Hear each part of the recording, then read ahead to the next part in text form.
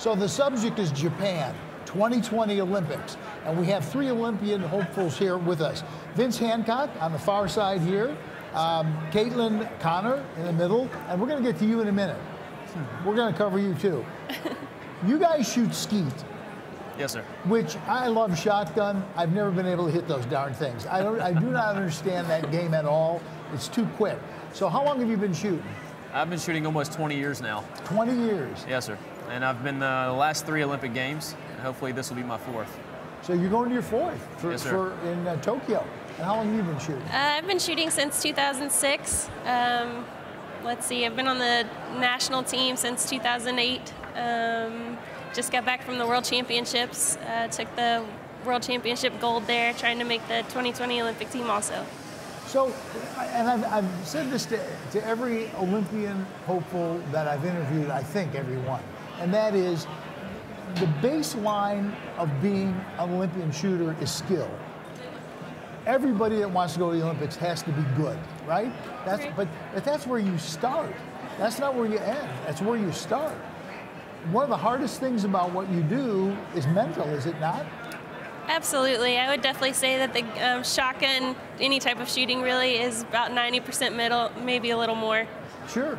Uh, golfers know this because they're they're having a good day, everything works, and then something goes wrong, and, and it's, it, that's it. It's over. It's just over. How do you deal with that? How do you train?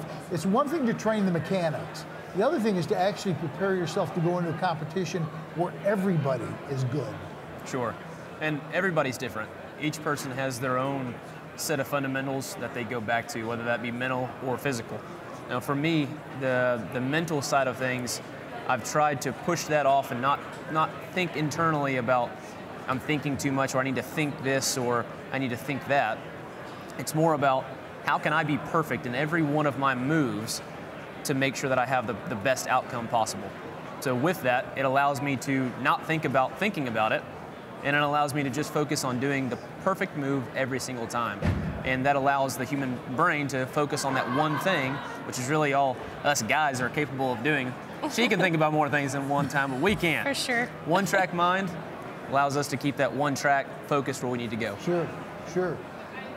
There has to be something inside each of the three of you, a compulsion, because this isn't something that you do, oh, I think I'll go out Saturday and practice. This, people go to parties on Friday night, you're out shooting. You know, people go to their prom, you're out shooting. I mean, this has to be something that you say early in your life, this is what I'm going to do, and more than anybody in your peer group, you sticking to one thing. That's got to be tough, is it not? It's definitely tough. You know, like you definitely make a lot of sacrifices. You have to really pick and choose really what you want to focus on. And for me, it definitely is shooting. Like I focus fully on shooting about 90% of the time too. So a lot of sacrifices comes with it, but that's the ultimate goal. So It has to stink for a social life. for sure. It does. definitely. It definitely does. And I know for me, I, st- I knew that I wanted to go to the Olympics when I was 12. The, the, the Olympic flame ran through my hometown and lead up to 96 Olympics in Atlanta. And that was my first experience with the Olympics. Fast forward a couple of years, in 1999 or early 2000, I found out that shooting is an Olympic sport. I didn't even know that. And we went up to Atlanta, shot my first few rounds, and I told my parents that on day two that I wanted to go to the Olympics and I wanted This to win a gold it. medal. Yeah. And I was 12 years old at the time. Yeah. You know, it's it's a it's something that we start from a very young age, and it takes a lot of dedication, and Sure. not a whole lot of social status. So you true. take all of that, Marco, and, and you put the issues that you've had in your life. So Marco DeLaRosa, you were, I was going to say you were, but you're always a Marine, right? There's no such thing as an ex-Marine. No such thing. But you're a, uh, you were a Marine and you still are. I don't know how you even say that. I was an Army guy. I'm an ex-Army guy. But you, you were in Somalia, and you made it through a whole tour in the Marine Corps. Everything went fine, and then what happened? I got back uh, Somalia in November 15th of 93. Uh, walked into a robbery, and uh, you know, every time I talk about it, I start looking because we relive it all the time. Oh, I understand. Yeah, yeah, yeah. So I walked into the robbery, saw the young lady being robbed. Uh, I acted, just reacted. I mean, I mean, his instinct took over. It wasn't like I wanted to be a hero today. I didn't see his buddy, and his buddy shot me in the back. And it paralyzed me from a T5. So from here down, I'm paralyzed. Yeah, so It's the same reason you became a Marine. There, and you can't explain that to people. You either get it or you don't get it. Well, people go, why would you do that? Why would you? I joined the army and volunteered to go to Vietnam. People go, why would you do that? There's nothing I can tell you. Isn't that true? Yeah. There's nothing you can say. Why would you do that? Why would you do that to help somebody? Because it's who you are. Mm. Now you take that, which makes it hard. enough. That's hard enough. Mm. Now you're adding a layer, and you're out there plugging away every day, right? yeah. How much do you practice? uh, two to three hours a day, and sometimes like in front of the TV, I'll have my pistol, and just to memorize just the trigger, just watch TV and just keep on squeezing that trigger. So every time when I do shoot, I know when when it's gonna go off. I know Exactly. exactly when it's gonna go off. You're doing both air pistol and 22. And 22. Sure, yeah. And now you're going to be going to uh, Dubai coming up, right? Yes. For the World Cup. It's a World Cup. So that's when. That's February 13th to the 19th, and uh, to get a quota. I mean, to, to get to uh, Tokyo, you need two minimum qualification scores, which I already have, and you get a quota, which is pretty much you get on the podium, you get a medal and stuff, and you get you, you reserve a spot for the for the country, not for yourself, to go to uh, Tokyo.